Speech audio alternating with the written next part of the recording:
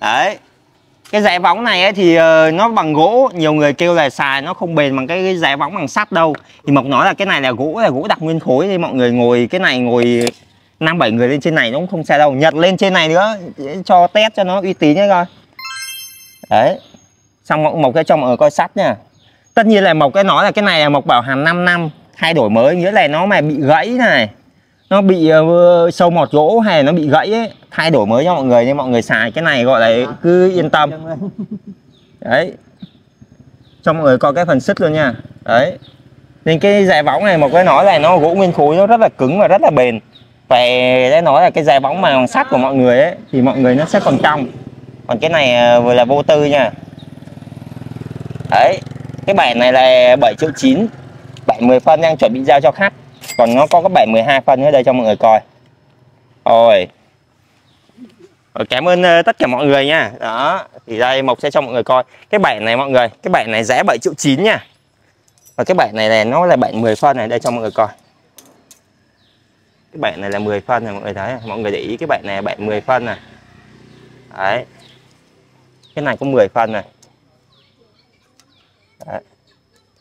và ngang này là ngang của nó là 6 phần 3 6 phần 2 Đấy, và cái này là gỗ có đỏ đặc hết nha mọi người nha.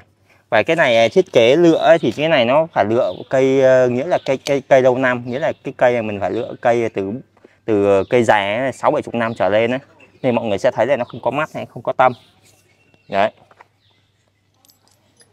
Cái này là 7 triệu 9 gỗ gõ đỏ nha. Thì nếu mà cái này nó làm bằng gỗ rẻ tiền thì sao? Gỗ tệ rẻ tiền thì nó chỉ có 3 triệu 9 thôi để cho mọi người coi một cái bệnh à, thôi coi cho mọi người coi bệnh mắc hơn đi. Bệnh này. Bệnh này là bệnh 12 phân này. Đấy 12 phân. Đấy. nằm nó cũng vậy mọi người nhưng mà cái bệnh này thì nó to hơn. Bệnh 12 phân. Cái bệnh 12 phân thì cái này nó là 12 phân này mọi người này. Đấy, đấy không? Này 12 phân này. Đấy, thì cái này nó sẽ dày hơn. Cái 7 12 phân này thì 7 12 phân này thì nó mắc hơn 1 triệu là 8 triệu 9 nhé mọi người. Đấy, đây cho mọi người coi nét sơn và nét chạm của nó. Đấy. rất là đẹp nha. Bản chân này là 7 phân. Mọi người nên lưu ý là cái thiết kế mà kết cấu này là nó có thể tháo lắp được, tháo ra được thì mộc nó nói là nó rất nhiều khu làng nghề hay là các xưởng khác người ta cũng có thể lấy mẫu này của mộc về làm. Nhưng mà tùy theo cái kiểu thiết kế nha, mọi người thấy là cái độ cong của nó ngại bao nhiêu để cho cái võng này nó không bị đụng cái mông hay là nó có độ thoải mái nữa, chứ không phải là cái nào như cái nào nha. Đấy. Thì nhiều khi là kêu là cũng mua dây võng này sao này chất lượng không bằng bên mộc.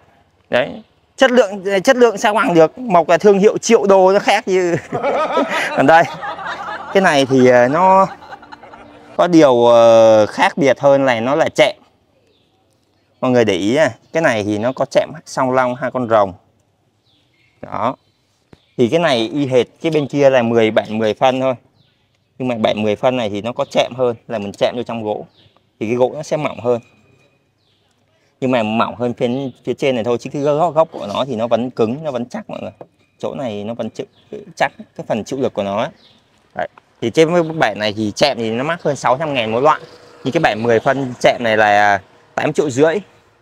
10 phân, còn 12 phân là 9 triệu rưỡi. Còn đây cho mọi người coi cái gỗ rẻ nữa. Cái giá võng gỗ rẻ hơn thì rẻ hơn thì bao nhiêu? Thì cái chèm bông vàng rừng lõi này. Thì giá của nó là 3 triệu 9 miễn phí vận chuyển. Đấy nên mọi người sẽ thấy là gỗ mắc thì nó là 7 triệu 9 rồi còn gỗ rẻ nó rẻ hơn nữa đấy. nhưng mà nằm thì uh, vẫn rất là sướng. Cái này thì uh, Mộc chưa test thử các anh em khác uh, ngồi lên xem như thế nào nhé mọi người.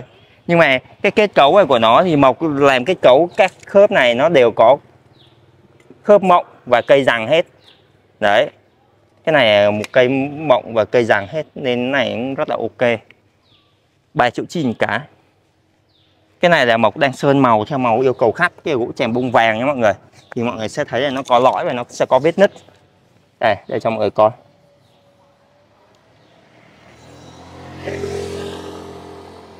Đấy, cái gỗ quý nó khác, gỗ thường gỗ thường thì mọi người sẽ thấy là nó làm từ các cây nhỏ, chẳng hạn như cái cây chèm này nhiều khi nó sống được có khoảng cỡ tám, chín năm hay cỡ 10 mười mấy năm thôi.